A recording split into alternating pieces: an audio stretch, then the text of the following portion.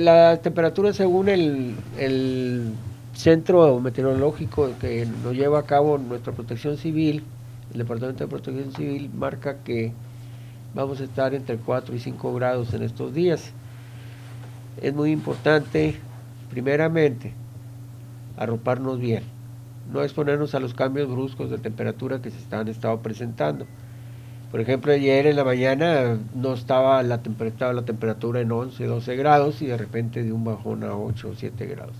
Entonces hay que tener mucho cuidado, salir siempre con la chaqueta o la, ropa adecuada para poder salir. Siempre traer algo en la unidad que se mueve uno para tratar de no agarrarnos desprevenidos. Y es muy importante que los niños, en los casos de los niños que están yendo a la escuela, a la escuela que tengan el filtro sanitario a la entrada, ¿sí?